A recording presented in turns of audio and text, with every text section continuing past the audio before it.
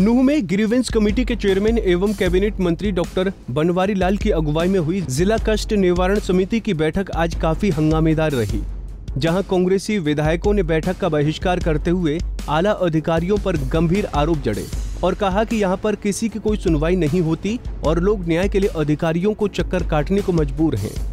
देखो, एक ऐसा मामला था जो सब जुडिस था और सब जुडिस मामले को में कोई फैसला नहीं कर सकते। इसी वजह से। मामला ये है कि ये जो ग्रीवेंसेस कमेटी है ग्रीवेंसेज नहीं महज एक जो है औपचारिकता है जो सरकार को अपनी मतलब मनमानी करने का वो है और हम जनता के साथ ऐसी बात कोई होगी उसे बिल्कुल बर्दाश्त नहीं करेंगे और उसी के विरोध में हम मीटिंग का बॉयकॉट करके यहाँ से जा रहे हैं। लोगों को यहाँ पर, परिवाद को निपटाने की बात होती है उनको न्याय देने की बात होती है। यहाँ न्याय देने के बजाय जो अधिकारी मतलब गलत काम करते हैं उनको संरक्षण जिस तरह से मेरे सीनियर लीडर आफ्ताब जी ने कहा विधायक जी ने कि ये जो चेयरमैन साहब यहाँ बन के आए हैं और जो यहाँ के अफसरान हैं, ये यहाँ की आम जनता को परेशान करते हैं, ना कि इनको इंसाफ देते हैं। जमील जो एक सरकारी टीचर है, इसके बाप के नाम से स्कूल है। चालीस साल का उस ज़मीन का पट्टा किया हुआ 2010 में इसने पट्टे कर दिया। इसका फादर चेयरमैन है, मीटर इसके नाम नहीं। उसके बाद जो तैतीस हज़ार का इनका चोरी का केस लगाया था, इन्होंने विद इंटरेस्ट वो पैसा भी भर दिया इसके बाप ने। इसको जबरन गाड़ी में पुलिस ने डाला। इसने पुलिस से कहा भी कि मुझे छोड़ दीजिए बडगली चौक पर, कि मैं आपको लाके रिसिप्ट दिखा देता हूँ। आप मेरी मानो, लेकिन इसके कपड़े भी फाड़े ज़बरदस्ती।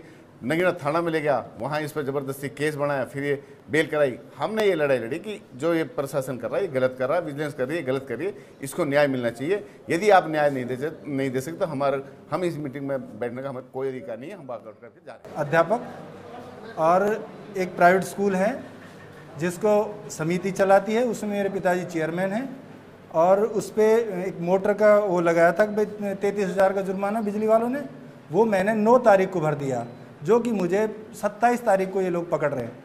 और 27 को मैंने कहा भाई मैं वो जमा कर देता हूँ। तो इन्होंने मुझे नहीं छोड़ा और ऐसे कितने मेरे पास वीडियो है वो मैं आपको दे देता हूँ।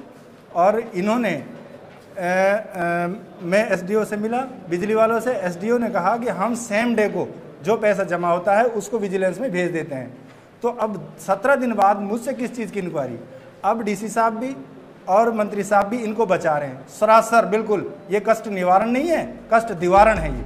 गौरतलब है कि पिछले महीने ग्रीवेंस कमेटी की बैठक में सरकारी अध्यापक मोहम्मद जमील निवासी खुशपुरी पर पुलिस द्वारा जबरन उठाकर मारपीट करने तथा मुकदमा दर्ज करने के गंभीर आरोप का मामला ग्रीवेंस कमेटी की बैठक में आया था, जिसके बाद बैठक में फैसला लिया गया कि अगली ग्रीवेंस कमेटी की बैठक में इसका फैसला लिया जाएगा।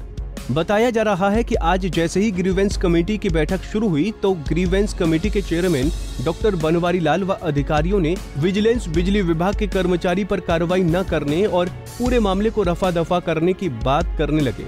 तो कांग्रेस के विधायक इस बात को लेकर भड़क उठे और उन्होंने मंत्री महोदय से पूरे मामले को गंभीरता से लेने की बात कही।